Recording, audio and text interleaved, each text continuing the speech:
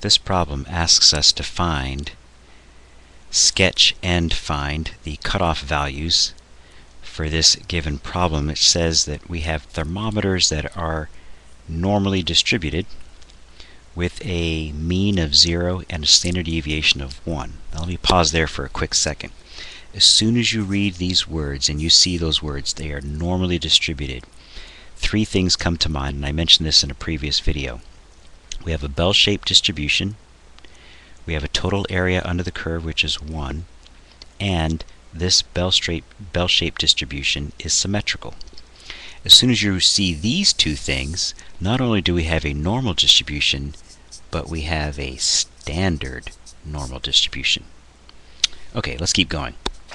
They ask us to assume that 2.2% of these thermometers are rejected because they're too high, and we also have 2.2% that are rejected because they're too low. Now, we need to sketch and determine these cutoff values. Well, let's start with the sketch. Let's start with the picture that's going on here. Scoot this over so you can see it. All right, so here's my normal distribution picture. Now, what they're asking is, what they're trying to tell you is this we actually have a tail, and I've got zero sitting in the middle there. We actually have a tail over here that if I shade to the right of it, that 2.2% of this, or 2.2 as percent as a decimal, is 0.022, right? That this area over here gives me an area of 0.022. And they want to know what is that corresponding z number right? Because these over here are too high. These are thermometers that give us readings that are just too high. Likewise, on the other side, I have another tail that if I shade on this side, this is a z number that corresponds to the thermometers, of 2.2% of them, or 0.022, that are too low. Right, so I've got too high on the right hand side, I've got too low on the left hand side.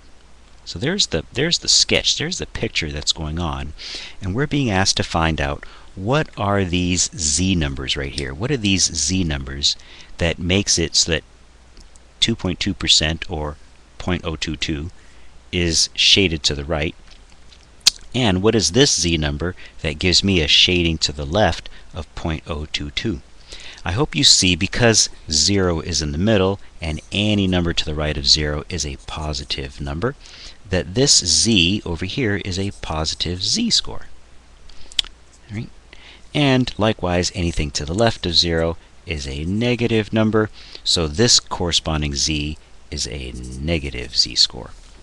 But, but because of symmetry, right, because of symmetry, and these two areas being exactly the same, these two z-scores are also going to be exactly the same. The only difference is that this one on the right hand side is going to be a positive number and this one on the left hand side is going to be a negative number. That's the only difference between these two z numbers. Okay? In other words, their absolute values are identical. Alright, so what I'm going to do then is to determine these cutoff values here is I'm going to use my table. Now, take a look at these two pictures. This is shading to the right this is shading to the left.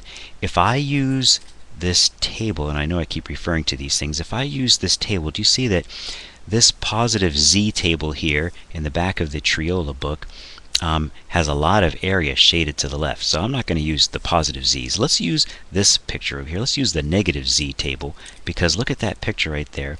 That kind of, that tail shaded to the left kind of looks a lot like this thing right here, right? This thing. So let's go try to find the this z-score, which is going to be a negative one, which we already knew that, right? So let's go try to find that. And I know you can't really read this very well, but I hope you see that the closest thing that I can find to an area of 0.022 is this one. Let's see, this one's sitting right, where is it? 0.022 is this thing sitting right here. Now I know you can't read that, but it corresponds to a z-score of negative 2.01. Negative 2.01. All right, so let me come back over here and show you this.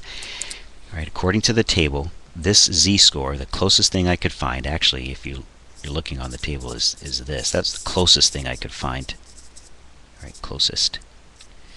um, that I could find to a 0.022 was 0.0222.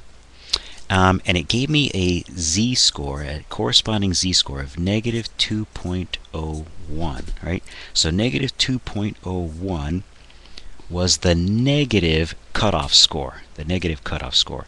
The positive cutoff score is, well, it's just the absolute value of that thing, so it's positive 2.01.